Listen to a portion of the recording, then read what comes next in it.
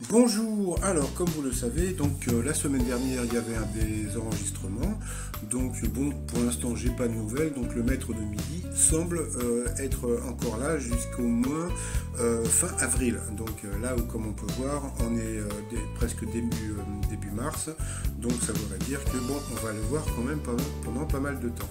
Donc à partir de la semaine prochaine vous avez des nouveaux enregistrements, donc voilà, comme on peut voir il reste de la place mardi et mercredi, donc c'est assez rare.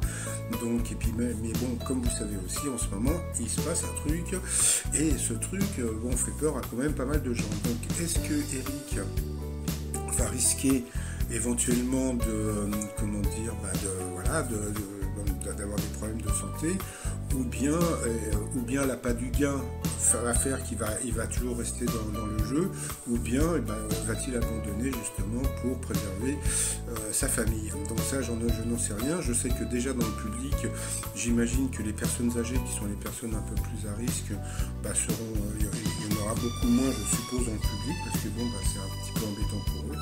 Donc, eh bien, si vous êtes dans le public bah, la semaine prochaine, n'hésitez pas à me laisser des messages sous ma vidéo ou sur euh, mon étoile de midi outlook.fr pour me raconter comment se passe l'ambiance. Et puis bah, pour finir, parce que bon, il vaut mieux en rire qu'en pleurer en attendant, donc le t-shirt coronavirus Chin Chin, et puis tous les autres avec la nouvelle position du coronavirus, et puis stade 2, etc., etc.